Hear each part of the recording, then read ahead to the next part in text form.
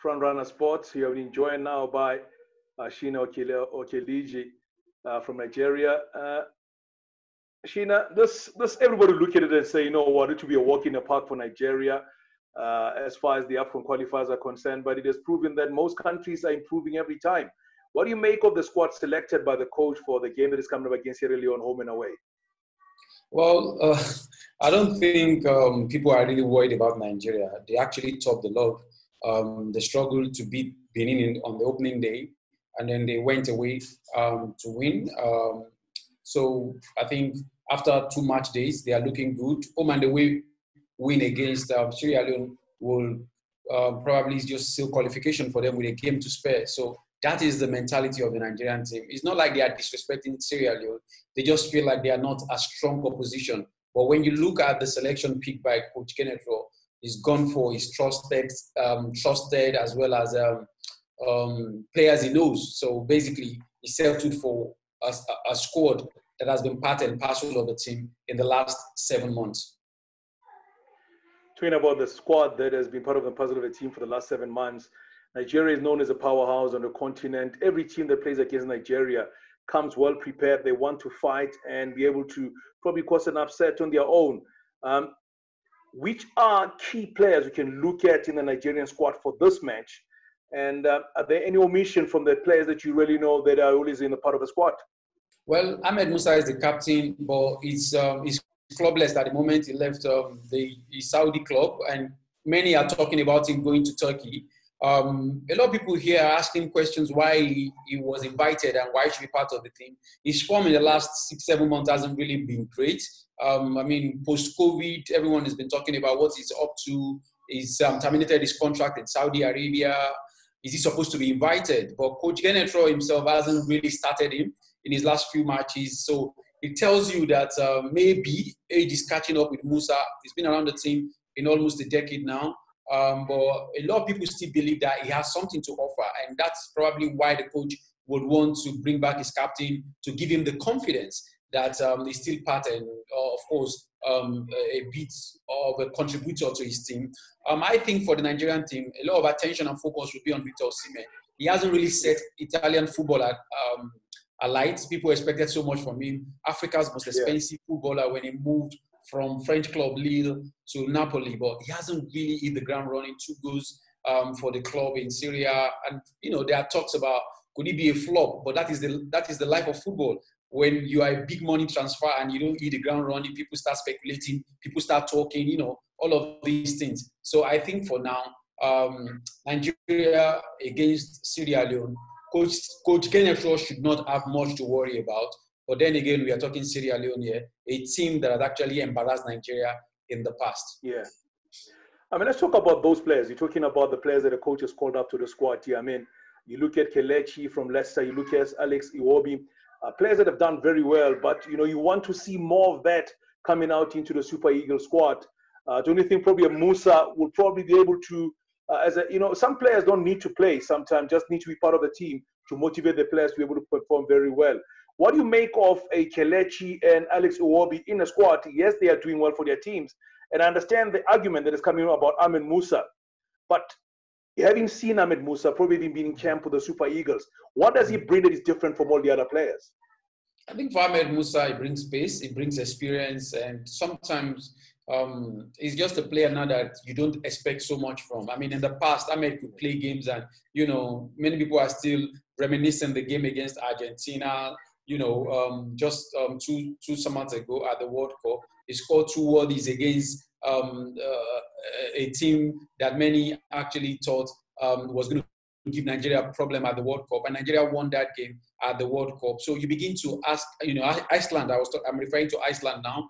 Um, yeah. All that look like uh, forgotten memories now. People are no longer looking back and you know having that um, brilliance of Ahmed Musa in their memories. All they want to see is a player who can actually deliver on a regular basis. I think the problem with Nigeria really is the fact that it's, it's difficult for the coach because you are not working with the players regularly and then you are bringing players from different teams. Gernot Rohr himself, I think, will shoot himself in the foot sometimes.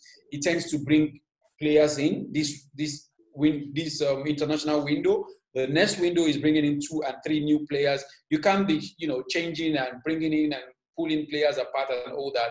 I think when you look at the Nigerian team since the AFCON in Egypt, there's been a lot of change in the team. So for Ahmed Musa, he needs to earn his spot. For Kelechi Iheanacho, many people are saying maybe the coach should play him, you know, um, behind the striker uh, because when you look at him at Leicester, he can only shine when he's playing behind the striker like Jamie Vardy. You can't play him up front and expect him to perform. That is his struggles. So I think he struggles at national team level and club level because everyone seems to struggle about what is his best position. I think with Pep Guardiola, he had a good time at, Leicester, at Manchester City, but since he moved to Leicester, he has struggled. He lacked confidence. He hasn't really worked out yeah. in the world of a lot of people. But I think um, this is a chance for him to actually prove himself. And for Nigeria, Sierra Leone, um, when you look at um, their own squad as well, you have two players who are coming back from international retirement. They've made a U-turn. They are part and parcel yeah. of the squad again now. They are facing Nigeria. Kai Kamara has called off his international retirement. He wants to be part of the big game in Nigeria. And of course, the, the, the, there is best fixture too is going to be an interesting one. So I think it's going to be an interesting one for Nigeria. Let's talk about Daniel Akpeyi. We all know in South Africa that he's uh, been leaking goals of recent when a match that you've seen play for Kaizer Chiefs. Uh, but he's the only African-based player in the Nigerian squad. And also in goals, we're talking about uh, Sebastian Osigwe, uh, who's been called up also and kept. Uh, is it all for him to get experience uh, sitting with the more senior uh, goalkeepers? Um, for Daniel Akpeyi, whether you like it or not, he has a big challenge now in a player like Maduka Okoye. Maduka Okoye is um, playing for Sparta Rotterdam now. Um, he, he, played in the last game. Um, for Daniel Akpeyi, that is the, his big test now. He's no longer Francis Uzoho, who's coming back from a long-time injury. Um, you have yeah. also a player like um, Ezenwa, who plays in the local scene, um, who was meant to be um, on a standby list, but he has joined the squad now because some players cannot travel from Europe to come down. So it's it's it's it's really a big challenge for Nigeria now. The goalkeeping pro- the goalkeeping problem that seems to be an issue um, in the last five years seems to be going away now. When you have options like uh, Sebastian Osigwe and of course Maduka Okoye, two European-born players who are yeah. two European-born players who have gotten an opportunity to be a part of the Nigerian squad. So that's going to be very interesting to see now. Let's talk about William Troost-Ekong uh, from Watford in, in the, the, defense of the team. And also talking about Middlesbrough Park, where you see uh, that you see the likes of uh, uh, Aribo coming in as well as Onyeka in the Middlesbrough Park. Uh, how do you make of that? Because I know that um, if you look at William Troost-Ekong, he plays more of a central central, central position as far as the, uh, the, the Nigerians are concerned. Ian also from Fulham coming to the squad. So you really have on paper a very, very solid squad and should be a walk in the park against Sierra Leone.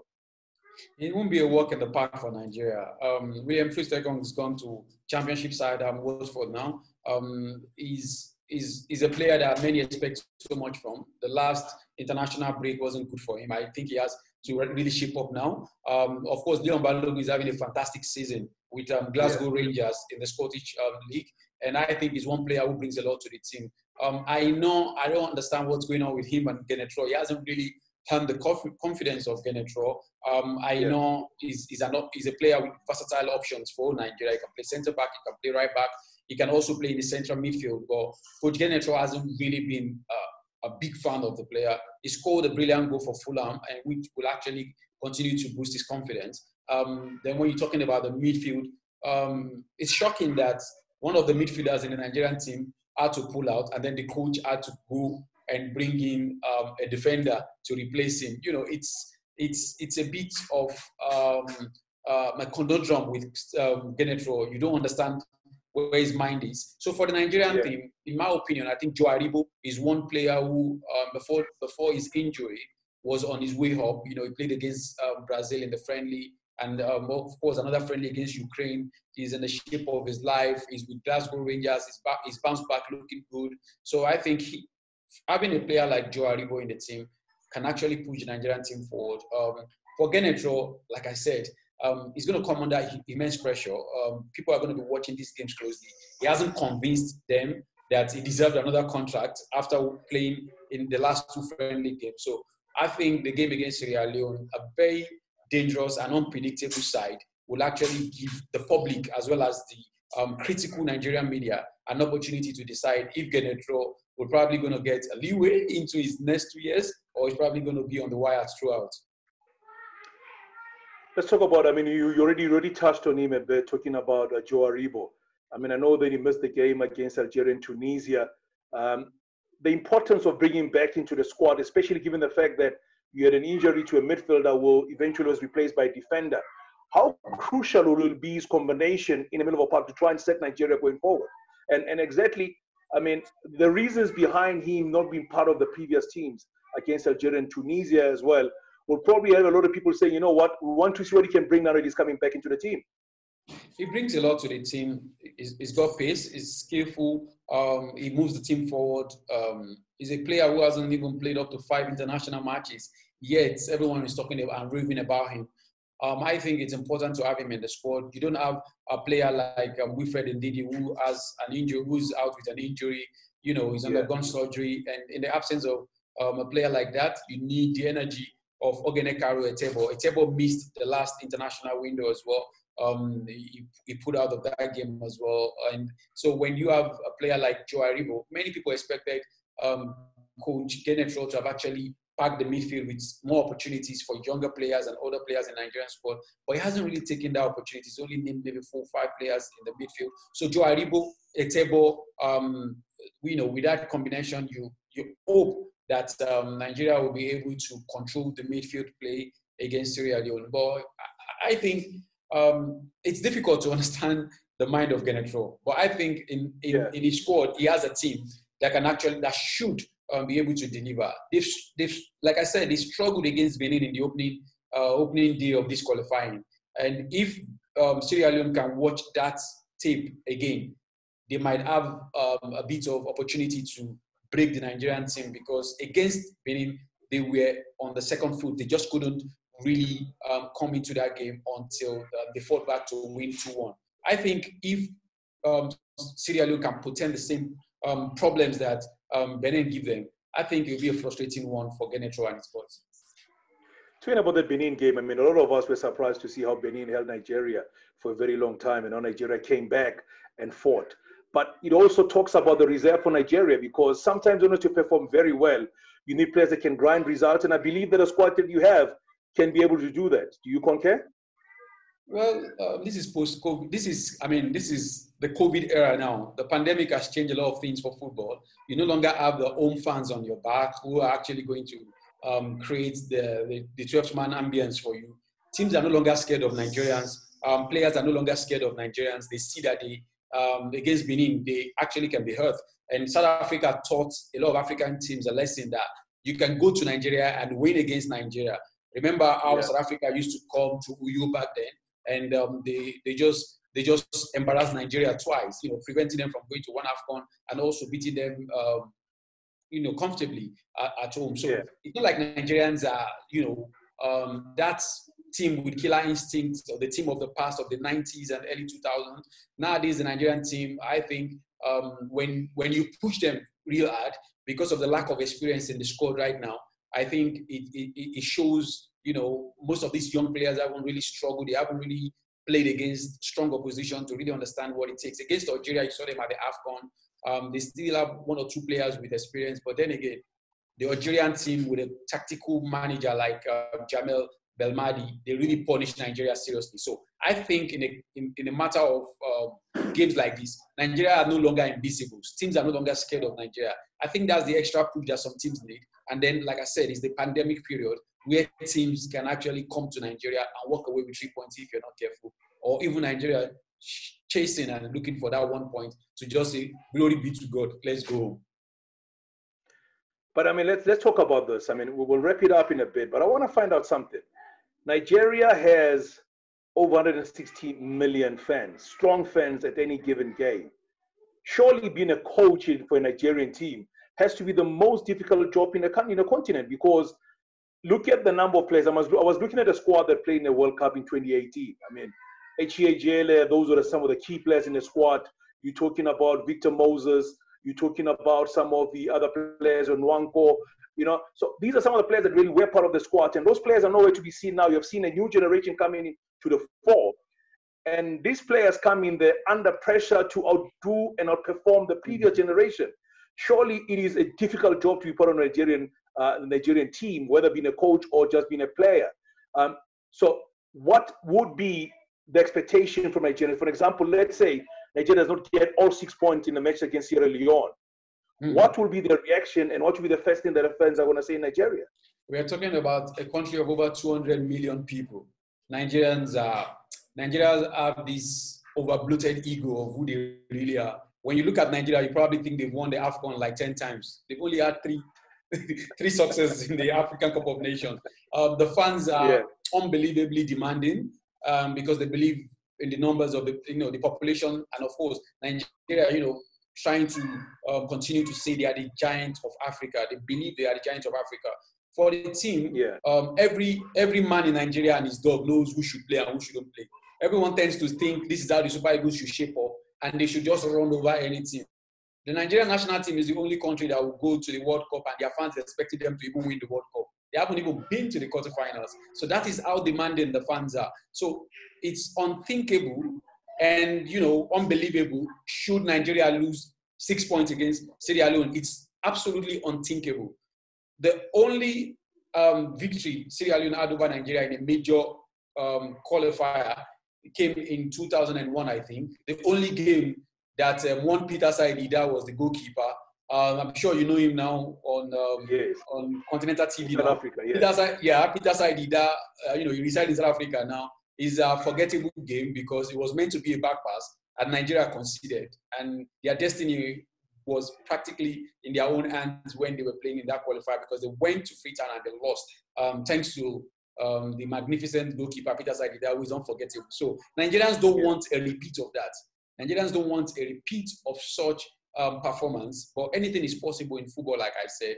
Um, if a team can come in, like I said, if you have an access to the, if they get access to see the Benin game, they could see that this Nigerian team under Gernot Rohr can easily, easily be beaten and nothing is impossible. You may have all the big players, Alex Iwobi, you mentioned earlier, coming from Everton, Kelechi Iheanacho from Leicester City. These players are boosted by the confidence that if they beat Nigeria, they know they are going to make headlines. So, what a good way to do it. Why not beat Nigeria at home and then take care of them when they travel back um, to your own base? So, it's going to be a tricky game for Nigeria. Fans are not thinking of Nigeria losing this game. There's been a lot happening in the country. There's been the police brutality uh, protest. So fans have actually turned their attention to social issues in Nigeria and not really focusing on football right now. But then again, it's the Super Eagles. When the Super Eagles play, Nigeria tend to come together and um, you know just cheer the team because there are millions of people whose sole um, you know happiness and joy comes from football. And like they say in Africa, football is the opium of the people. So what a better way for the Super Eagles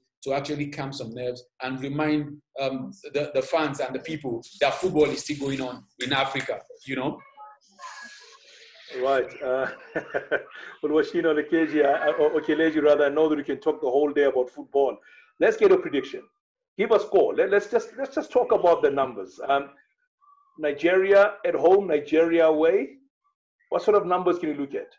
I'm horrible at predictions. So I'm going to go Nigeria 2, Sierra Leone nil in the first leg, and then right. maybe a 1 1 draw for the return leg. Maybe a 1 1 a 1 1 um, result for the return fixture, I think.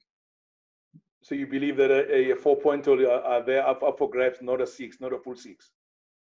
Well, six is a bit um, asking too much. Um, like I said, um, Sierra Leone, I believe they they have a very strong squad. Some of them play abroad. Um, they have 16 players coming from abroad.